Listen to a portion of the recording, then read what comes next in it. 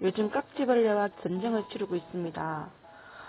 이 아보카도 크림은 솜깍지벌레가 많이 껴있어요. 색이 이쁘게 물들었다 생각했는데 아, 솜깍지벌레와 음, 균제 피해가 피해를 본 것 같아요. 까맣까맣한 것도 있고요. 손깍지벌레가 틈틈이 입장 사이에 많이 있었어요. 그래서 약도 뿌려줬지만 음, 아무래도 뽑아야 될 것 같아요. 뽑아서 뿌리까지 네머드 살충제에 풍덩 해볼까 합니다.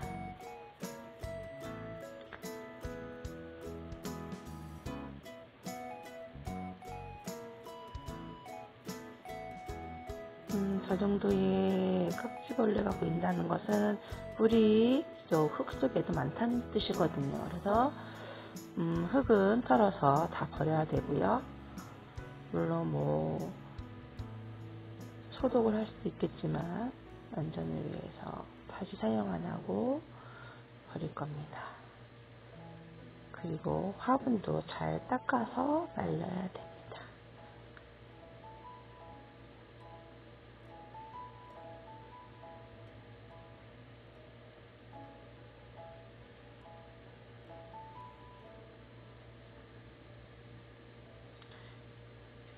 한여름에 다 푸르, 푸르등등한 애들 중에 뭔가가 좀 색이 이쁘게 물들었다든가 어, 그런 아이들이 있다면 좀 유심히 살펴보세요. 자 저렇게 하얗게 보시는 거 보이는 게 있죠? 저게 솜깍지벌레예요. 솜깍지벌레는 끈덕끈덕 하면서 막 늘어나요. 이 아보카도 크림은 입장 사이사이에 하얗게 좀 껴있어요.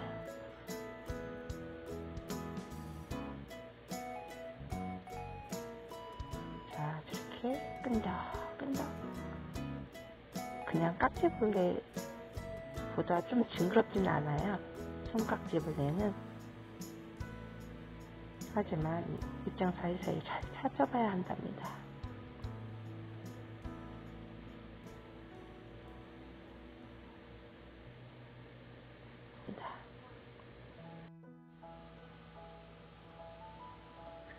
처음 사올 때부터 좀 이상한 게 좀, 좀 까맣까맣한 것도 있었고, 조금 희끗희끗한 부분이 있었는데, 음, 살충제를 뿌려줬긴 했었어요. 살균제도 뿌려줬었고, 근데도 한 번 더 유심히 봤어야 했는데, 이 아이는, 음, 한 번으로는 족하지 않았던 것 같아요. 좀 더 많이 살균제와 살충제를 좀 해줬어야 하는 아이였는데 음, 이제 진행이 됐던 거죠. 그리고 이 라일락은 그냥 깍지벌레의 피해를 본 아이예요. 하얗게 하얗게 줄기 부분에 깍지벌레가 있었어요. 좀 너무 마른 상태라서 깍지벌레가 좀 너무 건조한 상태에서 좀 생기거든요. 입장 사이사이까지는 틴트는 아직 못했는데 좀 이렇게 거뭇거뭇한 게 배설물 같은 것 같아요. 그런 거 배설물 같은 게 거뭇거뭇한 것도 보이면 한번 입장 사이사이도 한번 찾아보셔야 합니다. 자 이제 어, 메머드 살충제에 희석한 물을 부어줄 거예요. 일단 입장 사이사이에도 충분히 약물이 들어가게 부어주고요. 그리고 풍덩 담궈줄 겁니다. 특히 아보카도 크림 같은 경우는 입장 사이사이까지 피해를 많이 받기 때문에 어, 그냥 풍덩 담가두는 것을 선택했어요.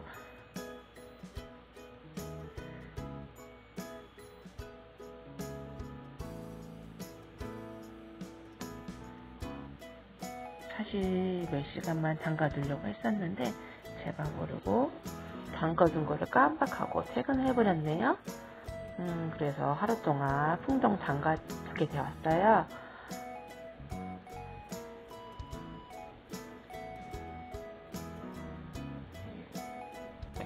다음날 물에 깨끗이 씻어준 다음에 선풍기 바람에 꼬독꼬독 말려주었습니다. 그리고 자연 바람에도 하루 말려주고 다 마른 아이들을 음, 다시 화분에 심어 주었어요.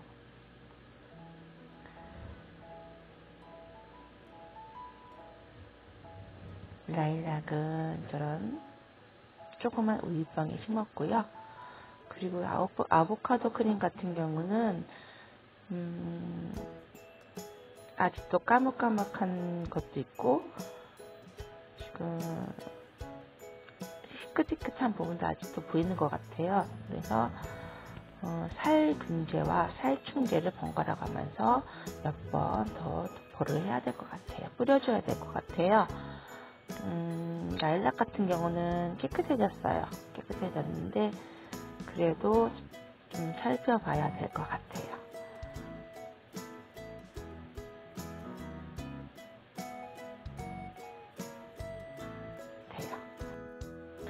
여러분들도 좀 다육이들이 평상시와 같지 않게 음, 예쁜 색깔을 물, 물로 든, 물이 든다든가 할때 어, 입장 사이사이 한번 살펴보십시오.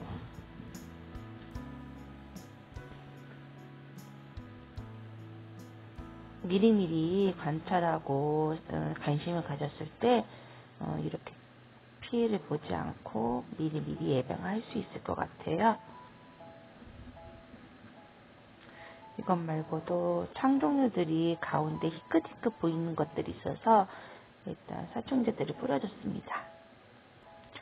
자, 이거는 어, 페트병에 입고지한 아이들인데 여름이다 보니 아, 저리 녹조 등 증세가 보이네요.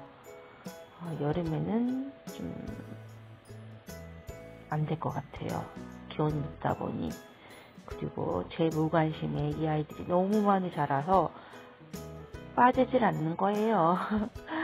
그래서 인두로 구멍을 넓혀서 이 아이들을 하나하나 빼고 있는 작업을 하고 있습니다.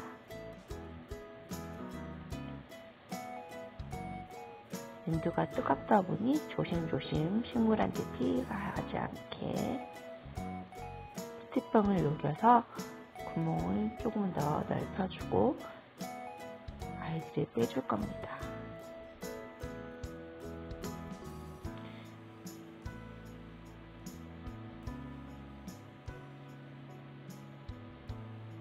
자, 나왔네요. 이 아이는 누굴까요? 음, 초점이 안 맞네. 초점이 맞춰지냐?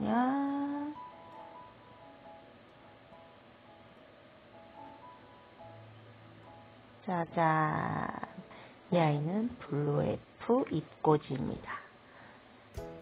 이렇게 페트병에 잎꽂이를 할 경우는 어, 시기를 놓치면 뺄 수가 없어요. 그래서 잘 봐야 되는데 제가 관심을 못 가졌어요. 그러다 보니 저리 못 자랐네요.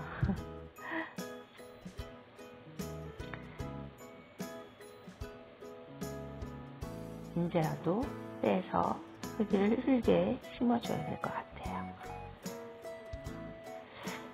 음, 페트병 잎꽂이는 단점도 있고 장점도 있는 것 같아요. 단점이라는 건 이렇게 시기를 놓치면 음,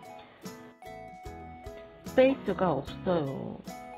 음, 여름에는 이와 같이 녹조 현상이 일어나서 예, 그, 그것도 좀 물이, 물을 이렇게 잘 갈 수 없는 상황이 되잖아요. 그것도 문제가 되는 것 같고. 이 아이는 좀 많이 못 자랐죠? 하지만 뭐 봄과 겨울은 괜찮을 것 같아요. 기온, 기온이 높지만 않다면 저렇게 녹조 현상은 일어나지 않을 것 같아요. 어, 장점이라면 이 아이들이 물을 안 챙겨줘도 됩니다. 물을 밑에서 수증기 같은 걸로 인해서 이 아이들이 충분한 습기를 먹고 있기 때문에 그리고 이 아이는 빼다가 빠진 아이가 물속에 빠져서 이렇게 길게 뿌리를 내렸네요. 어쨌든 이렇게 수확한 아이들 모아봤고요. 하지만 음, 한 달이 돼도 이렇게 뿌리와 새싹을 만들지 못한 아이들도 있답니다.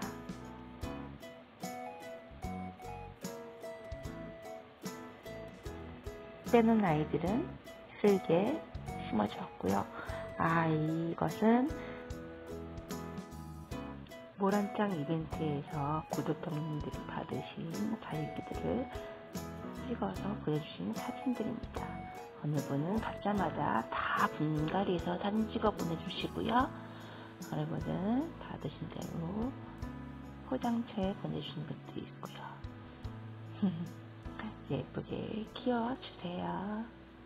여름 잘 나길 바랄게요.